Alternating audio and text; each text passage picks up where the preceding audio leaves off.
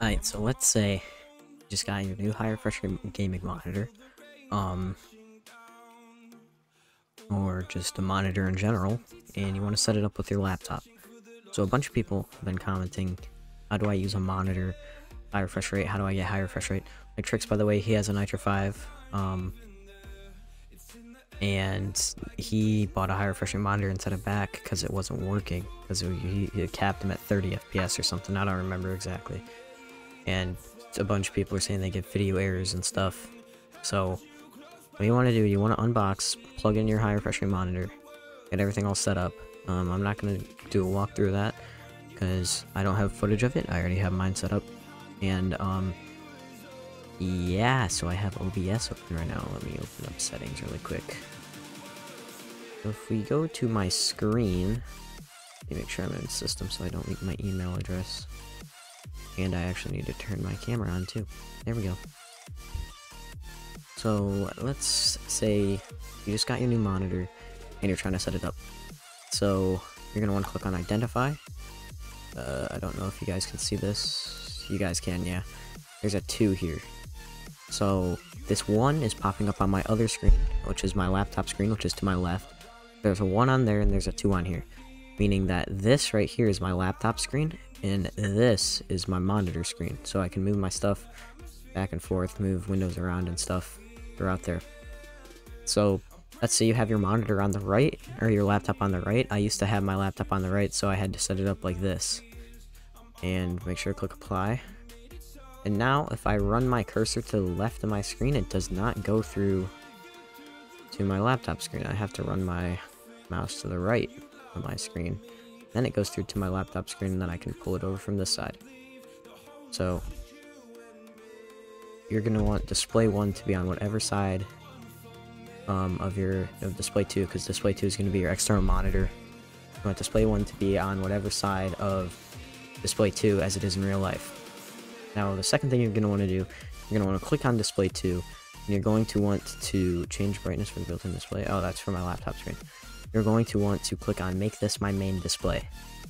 So if you're here, I can press on this, and it makes that my main display, it makes display 1 my main display, so now my main display is over to my left, which is where I have my OBS, but I don't want that because then all your games are going to pop up on there.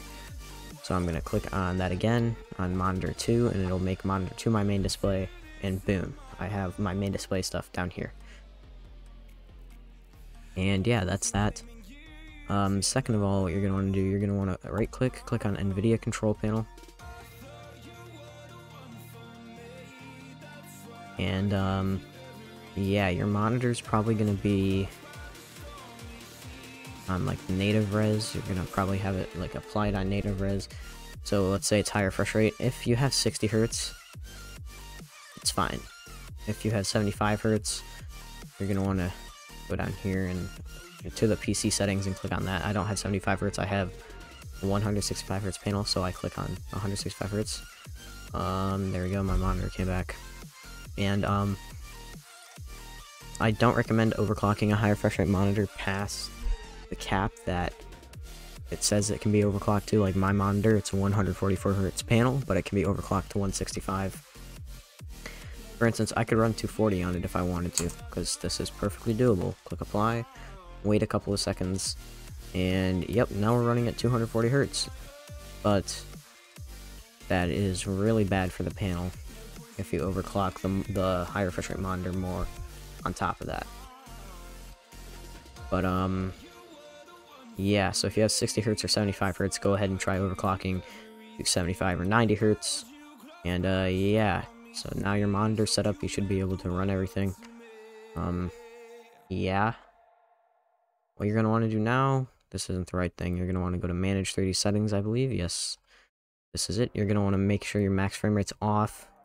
Um, if you prefer to use the NVIDIA thing, which I don't because I cap my FPS in-game, even though it induces slightly more stuttering, um, I do enough FPS tests where I think that, um, because no matter what you cap it at, if you have it capped at 144 in NVIDIA, NVIDIA is going to override it. So I don't cap it in NVIDIA, I cap it in the game directly. So that's why I don't do that. But um, if you're not going to be doing FPS tests or anything, click on on and then make the maximum FPS like mine. is my monitor is 165 hertz, so I do um 165. Um, or I could do 166 if I wanted to. I don't even know what just happened. But uh, yeah. So I'm gonna turn that off right now. You're gonna want yeah, and depending on what settings you want to play on, these are all personal preference, really. So, uh, yeah.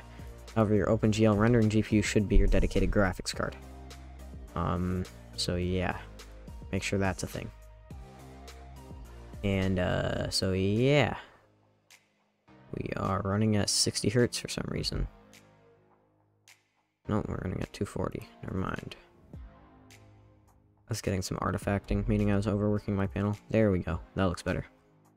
But, um, yeah, and that's pretty much how you set up a monitor with a laptop. If you guys have any problems, comment down below. Um, and I will try and help you guys out and resolve them. And, uh, yeah, that's pretty much it for today. Thank you guys for watching.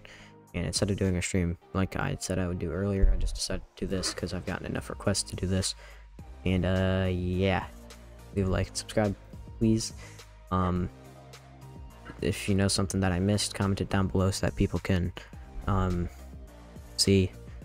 And uh, yeah, without further ado, guys, I'm out. Peace.